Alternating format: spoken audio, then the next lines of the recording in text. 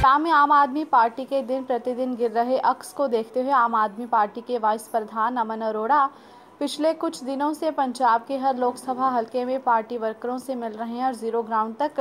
Party वर्करों से party की गतिविधियों के बारे और पार्टी को दोबारा से मज़बूत करने के लिए मीटिंगें कर रहे हैं, जिसके तहत वे आज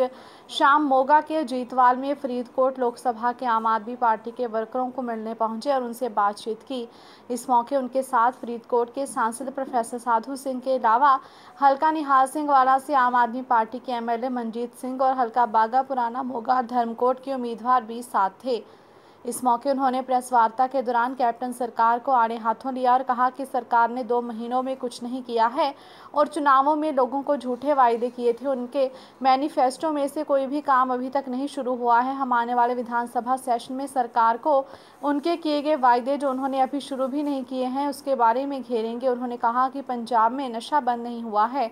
उन्होंने कहा कि हम पार्टी वर्करों से मिलकर इसकी शोध करेंगे। मोगा से जाट टीवी न्यूज़ के लिए जोगेंद्र सिंह की रिपोर्ट ਵਰਕਰ ਨੇ ਜਿੰਨੇ ਸਾਡੇ ਵਲੰਟੀਅਰ ਨੇ ਜਾਂ ਪਾਰਟੀ ਨਾਲ ਸੰਬੰਧ ਰੱਖਣ ਵਾਲੇ ਪਾਰਟੀ ਦੀ ਕਮਿਟਮੈਂਟ ਨਾਲ ਇਹਦੀ ਵਿਚਾਰਧਾਰਾ ਨਾਲ ਸੰਬੰਧ ਰੱਖਣ ਵਾਲੇ ਸਾਰੇ ਵਰਕਰਸ ਨੂੰ ਸੱਦਾ ਦਿੱਤਾ ਹੈ ਇੱਥੇ ਇਕੱਠੇ ਹੋਏ ਹਾਂ ਇਹਦੇ ਵਿੱਚ ਉਹਨਾਂ ਵਰਕਰਸ ਦੇ ਵਲੰਟੀਅਰਸ ਦੇ ਰੂਬਰੂ ਹੋਇਆ ਜਾਏਗਾ ਤੇ ਉਹਨਾਂ ਦੀ ਰਾਏ ਲਈ ਜਾਏਗੀ ਫੀਡਬੈਕ ਲਈ ਜਾਏਗੀ ਕਿ ਪਾਰਟੀ ਦੇ ਵਿੱਚ ਆਪਾਂ ਹੋਰ ਕਿਹੜੇ ਕਿਹੜੇ ਚੰਗੇ ਕੰਮ ਕਰ ਸਕਦੇ ਆ, ਪਾਰਟੀ ਦੇ ਵਿੱਚ ਇੰਪਰੂਵਮੈਂਟ ਲਿਆ ਸਕਦੇ ਆ, ਜੇ ਪਿੱਛੇ ਪਾਰਟੀ ਦੇ ਵਿੱਚ ਕੋਈ ਸੈਟਬੈਕ ਲੱਗੀ ਹੈ, ਉਹ ਕਿਸ ਕਰਕੇ ਲੱਗੀ ਹੈ, ਇਹ ਇੱਕ ਅੱਜ ਦਾ ਜਿਹੜਾ ਏਜੰਡਾ ਹੈ ਤੇ ਇਹਦੇ ਵਿੱਚ ਸਾਡੇ ਪਾਰਟੀ ਦੇ ਜਿਹੜੇ ਸਹਿ ਪ੍ਰਧਾਨ ਨੇ, ਜਿਨ੍ਹਾਂ ਨੂੰ ਪਾਰਟੀ ਨੂੰ ਰੀਆਰਗੇਨਾਈਜ਼ ਕਰਨ ਲਈ ਰੀਸਟਰਕਚਰ ਕਰਨ ਲਈ ਜ਼ਿੰਮੇਵਾਰੀ ਸੌਂਪੀ ਹੈ। ਇੱਕੋ ਹੀ ਪਾਸਾ ਦੇਖ ਰਿਹਾ ਹੈ ਕਿ ਜੇ ਆਮ ਆਦਮੀ ਪਾਰਟੀ ਹਾਰ ਗਈ ਕਿ ਸਰਕਾਰ ਨਹੀਂ ਬਣੀ ਹੈਗੀ। ਪਰ ਇਹਦਾ ਦੂਸਰਾ ਨਾਲ ਪੋਜ਼ਿਟਿਵ ਪਹਿਲੂ ਇਹ ਵੀ ਹੈ ਕਿ ਪੋਜ਼ਿਟਿਵ ਪਹਿਲੂ ਇਹ- ਇਹਦਾ ਇਹ ਵੀ ਹੈ ਕਿ ਅੱਜ ਤੱਕ ਕਦੇ ਨਹੀਂ ਹੋਇਆ ਹੈਗਾ ਕਿ 3 ਸਾਲਾਂ ਦੇ ਵਿੱਚ ਵਿੱਚ ਕੋਈ ਕੋਈ ਵੀ ਪਾਰਟੀ 25% ਵੋਟ ਸ਼ੇਅਰ ਲੈ ਕੇ ਅਹ, 22 ਸੀਟਾਂ ਲੈ ਕੇ ਪ੍ਰਿੰਸੀਪਲ ਆਪੋਜੀਸ਼ਨ ਪਾਰਟੀ ਬਣ ਜੇ। ਬਾਦਲ ਤੇ ਬੀਜੇਪੀ ਜਿਨ੍ਹਾਂ ਨੇ ਪੰਜਾਬ ਨੂੰ ਲੁੱਟ ਕੇ ਖਾ ਲਿਆ ਸੀਗਾ ਅਸੀਂ ਅੱਜ ਉਹਨਾਂ ਨੂੰ 97 ਸਾਲ ਪੁਰਾਣੇ ਅਕਾਲੀ ਦਲ ਨੂੰ ਤੇ ਪੂਰੇ ਮੋਦੀ ਜੀ ਦਾ ਡੰਕਾ ਵੱਜਦਾ ਸੀ ਪੂਰੇ ਹਿੰਦੁਸਤਾਨ ਦੇ ਵਿੱਚ। ਅੱਜ ਅਸੀਂ ਉਹਨਾਂ ਨੂੰ ਥਰਡ ਪੋਜੀਸ਼ਨ ਦੇ ਉੱਪਰ ਧੱਕ ਦਿੱਤਾ।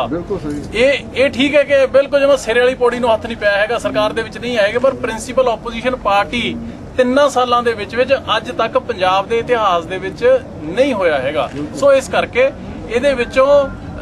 ਜਿਵੇਂ ਕਿ ਨਜ਼ਰ ਹੀ ਹੈ ਪੋਜ਼ਿਟਿਵ ਤਰੀਕੇ ਨਾਲ ਦੇਖ ਲਓ 네ਗੇਟਿਵ ਨਾਲ, ਅੱਧਾ ਗਲਾਸ ਭਰਿਆ ਦੇਖ ਲਓ, ਅੱਧਾ ਖਾਲੀ ਦੇਖ ਲਓ। ਸੋ ਮੈਂ